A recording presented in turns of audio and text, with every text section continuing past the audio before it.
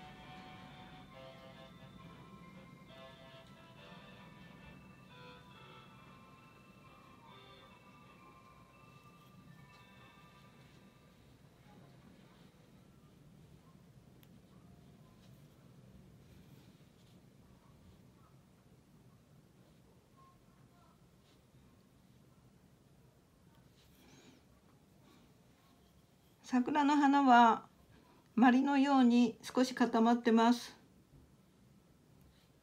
横向きの桜も描きます。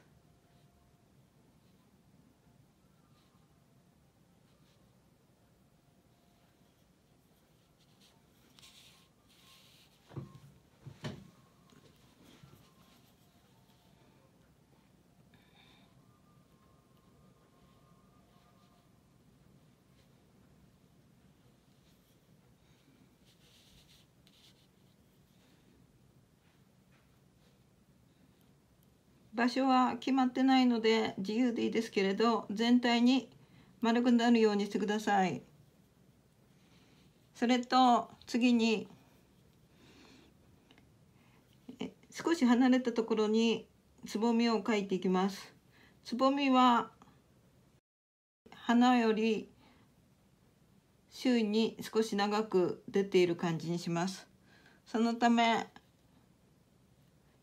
少し離れたところに書いていきます。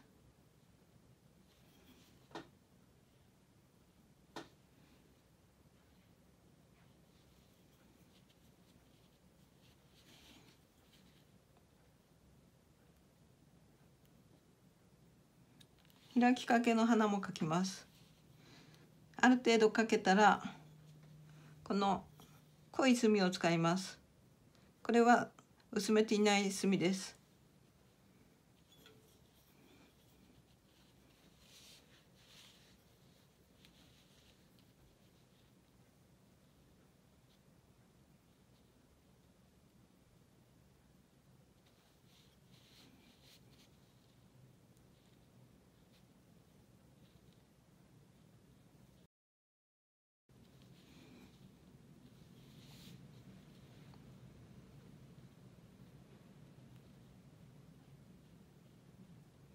少しここのところがつぼみは長くなってます。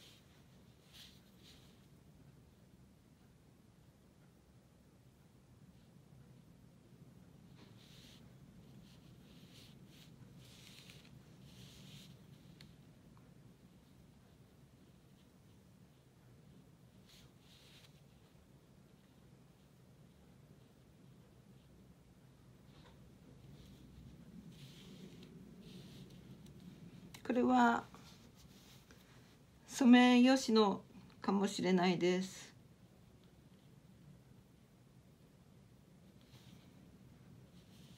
内側に向かってつぼみが出ている感じにします。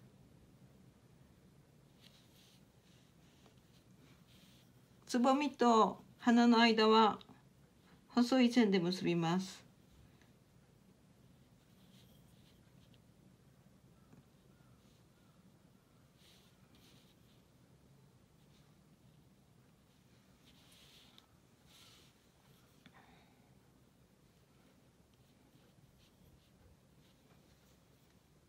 次におしべめしべを書きましょう。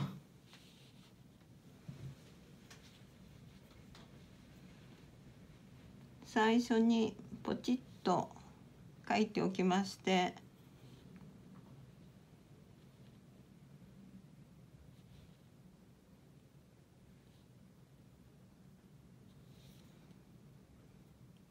できるだけ細い線で周囲に足部を描いていきます。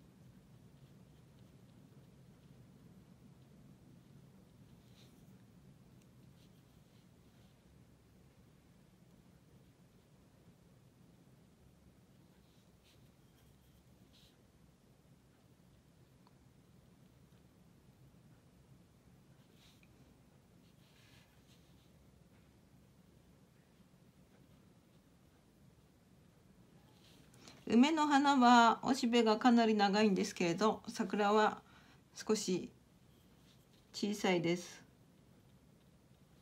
こんな感じです。はい。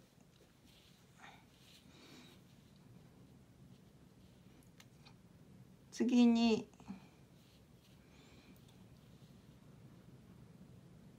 おしべの点を描きます。おしべの先ですね。自由に不揃いの感じでいいと思います。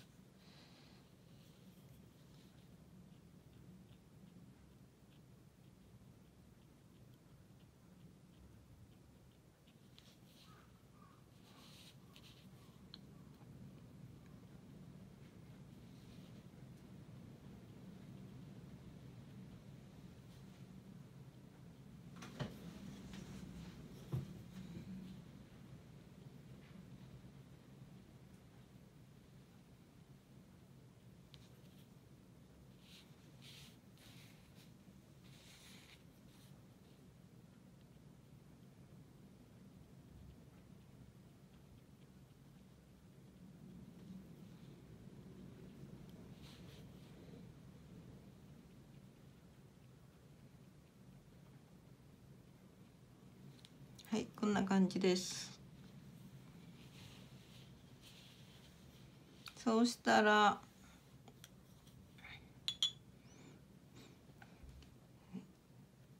枝を描きます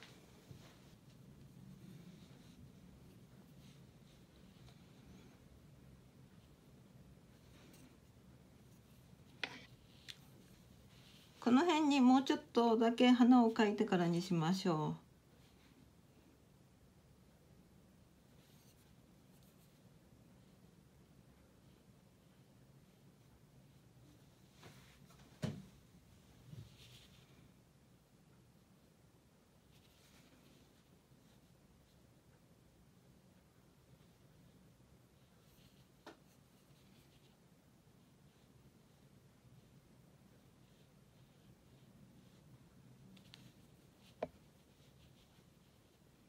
少し薄くしました。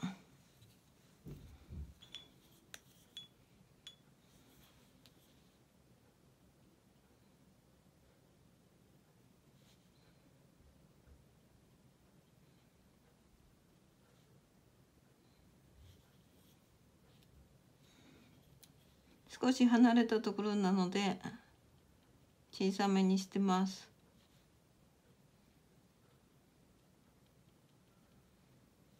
はい。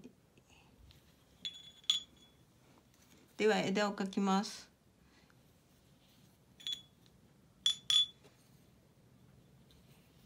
枝はこんな感じかな。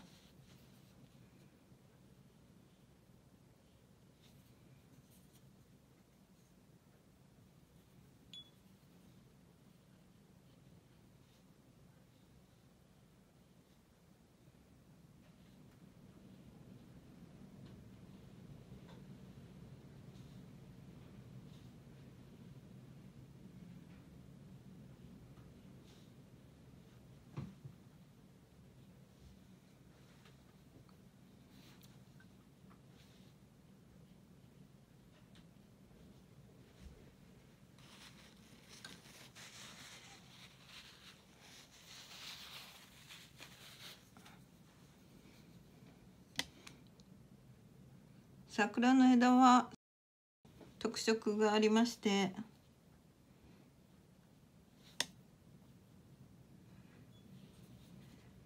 筋が入ってます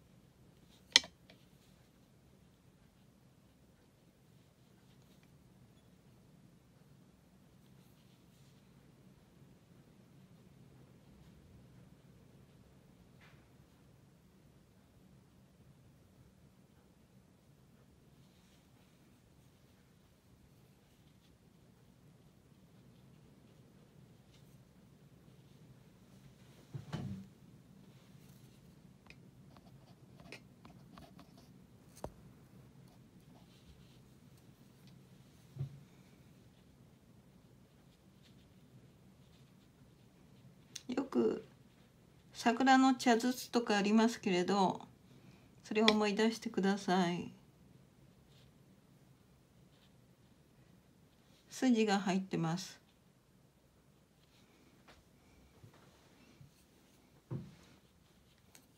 はいできました。では色を塗りますけれど桜の花は可愛くしたいので今回はセリエで買ってきたこういう100円ショップの絵の具を使ってみたいと思います。これが可愛いと思います。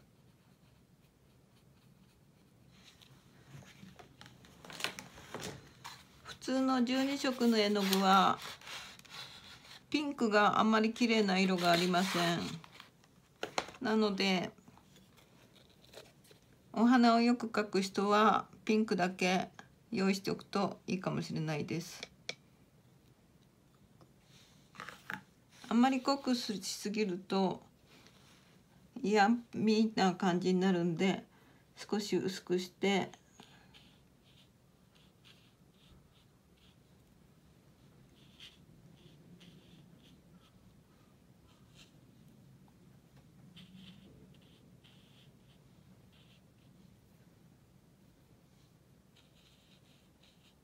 真ん中辺を塗っておきます。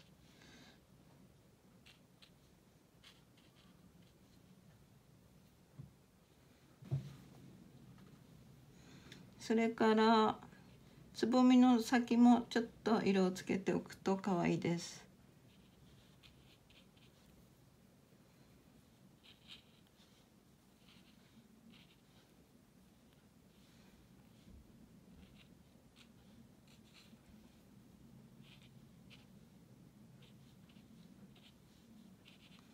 あとこの鼻の間とかもちょっと色入れときます。はいこんな感じです。あとこの芯のところが少し濃い方がいいと思います。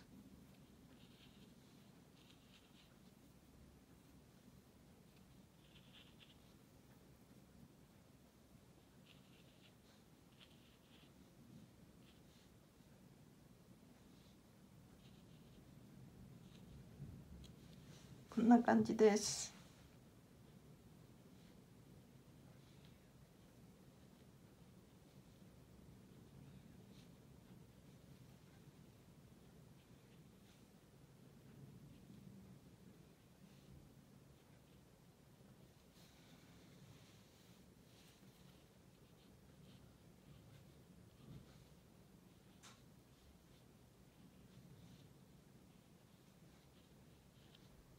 少し花びらを描き足します。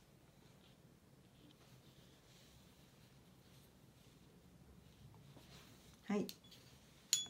終わりです。名前を書きます。